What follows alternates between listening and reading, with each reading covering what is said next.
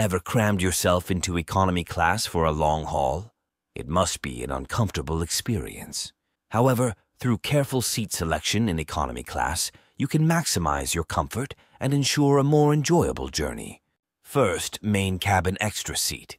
These are the best seats you'll find in the rear section of the plane.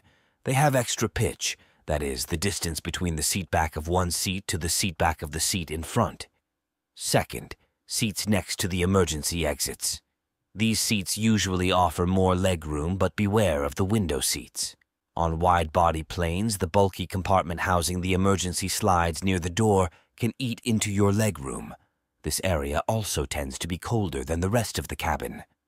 Third, seats in front of the wings. If you want to avoid engine noise, keep clear of the back of the plane. Engine noise is deflected backwards, so sitting in front of the wing is your best chance of avoiding external noises.